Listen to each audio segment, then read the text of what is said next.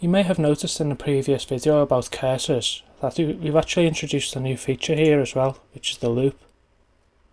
There are actually a few different types of loops that we can use, as you would expect with a programming language. We have infinite loops, we have do loops, and we have while loops. In this example, we've used an infinite loop.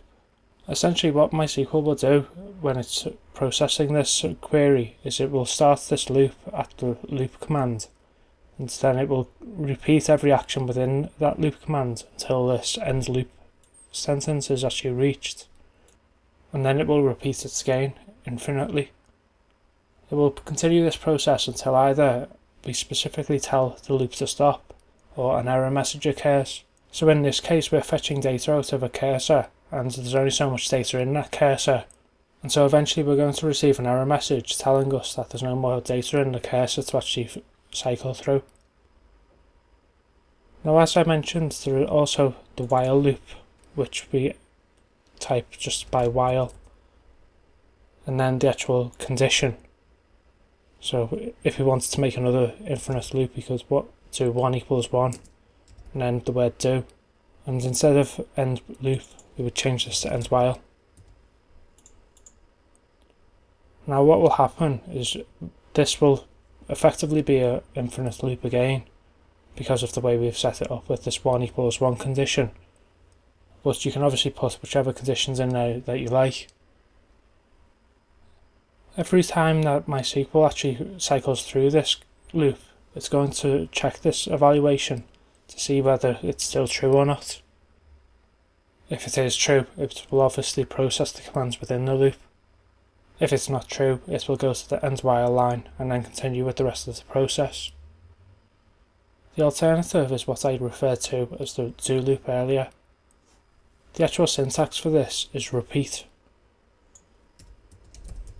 And then the actual statement that we want to repeat. And then to end the loop, we actually change this to end repeat.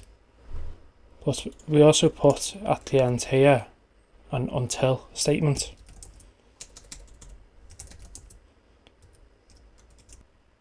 And what this will do is it will always execute the commands within the actual loop itself at least once.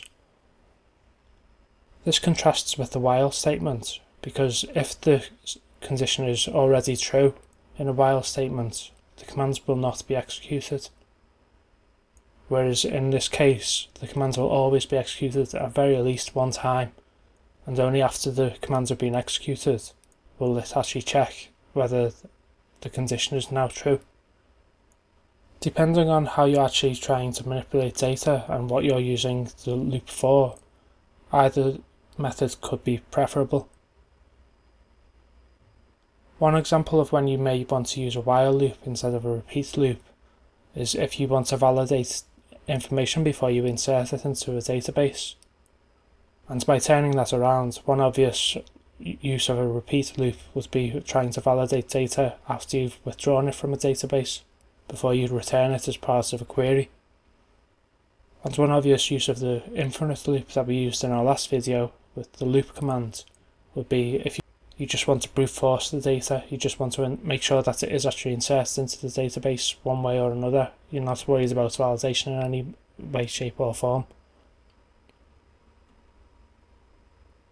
It's difficult to actually demonstrate the use of loops because they can be used in so many different ways and they are very conceptual.